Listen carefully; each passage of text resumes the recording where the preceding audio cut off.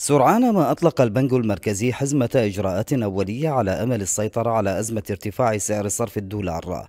أولى هذه الإجراءات تتعلق ببيع الدولار للمسافرين عن طريق المصارف بسعر 1470 دينارا للدولار الواحد وبحصة لا تتعدى الخمسة آلاف دولار للمستفيد. ومع ذلك فإن المواطنين يعانون من كثرة الزحامات عند مراجعتهم للمصارف. قدمنا ويعني الأوراق وكملنا بس بعدنا إحنا طبعا لسه ما مستلمين. وازدحام والناس حقه يعني تريد همينة يعني من السافر تستفاد من المبلغ ليش تصرف على مثلا كذا سعر؟ الدولار حاليا أسعاره بالسوق حيل غالية. يعني سعر الدولار 165 ألف. وهاي مبادرة جيدة أنه يعني صارت عندنا آه، لتسهيل آه، السفر خارج البلد وتجارة وهذه يفرق لنا يعني مبالغ كبيرة. عملية بيع الدولار بشكل مباشر للمسافرين تخضع أيضا إلى آليات يسيطر عليها البنك المركزي. من خلال منصات إلكترونية تدخل فيها بيانات المتقدم لشراء الدولار. هذه الإجراءات تسببت بزخم كبير على نوافذ البيع. نمنح للمسافرين 5000 دولار.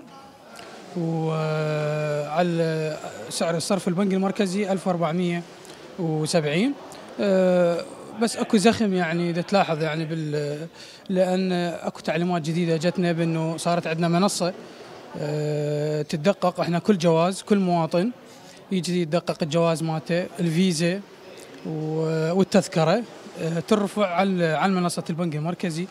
فتعرف هذا واخذ وقت يعني أه بالتدقيق واجراءات ولحد ما يرفعوها المنصه البنك المركزي وتجينا الإجابة.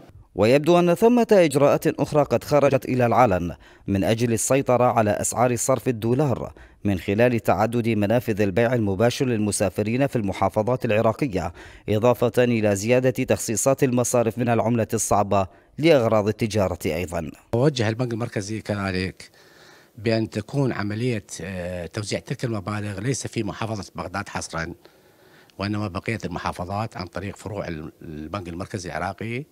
الموجودة في الموصل وفي محافظة البصرة وفي أربيل. أنا بدي أحكي لك عن المصارف الأهلية المصارف الخاصة. الحصة زادت إلى مليونين و500 ألف دولار أسبوعيا.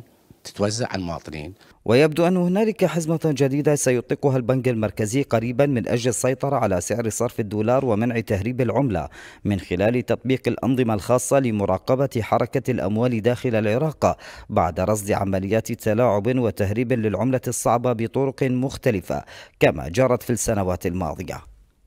من العاصمة بغداد أحمد فيلي زاغروس تيفي